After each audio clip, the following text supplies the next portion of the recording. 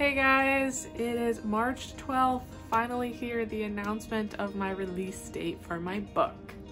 My book is called The Rising, it's by me of course, and finally I get to announce some good news about it. Um, for those of you who have been sticking around and kind of been going through this with me, finally get to reveal some information to you guys and I'm super excited about it. The release date for my book is, drumroll, September 1st of 2021. Yay!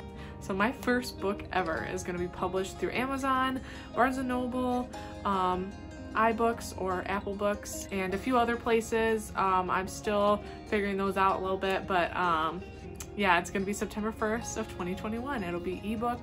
Amazon will have the soft cover too. I would show you guys a cover, but that is going to be another release date to kind of, you know, fill in this time before September. As you know, that's quite a bit of ways away, but I'm gonna be slowly building up my platform still and hopefully get more viewers to eventually when the book does come out be interested to read it. So um, the information I can tell you is that it's around um, 700 pages long, and it's a contemporary fiction book. It takes place in Kenosha.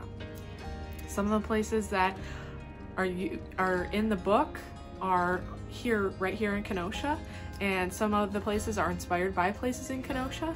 So I'm very excited to kind of share those with you. Also with this release date, I have created a whole tab on my website dedicated to the book. So you're gonna go on my website, you're gonna go to the books tab and under there, you're gonna see The Rising. You're gonna click on that and it's gonna give you mood boards, which are gonna give you vibes for different characters, different places in the books. There'll also be a dream cast on there, so actors and actresses that I chose for characters in my book that if, you know, if ever it were to become a book or, or, I mean a movie or a TV show, those are the people that I would choose for that.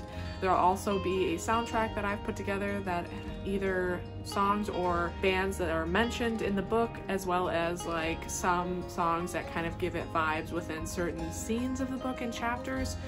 Um, also, there are three dialogue excer excerpts from my book on the page at the bottom.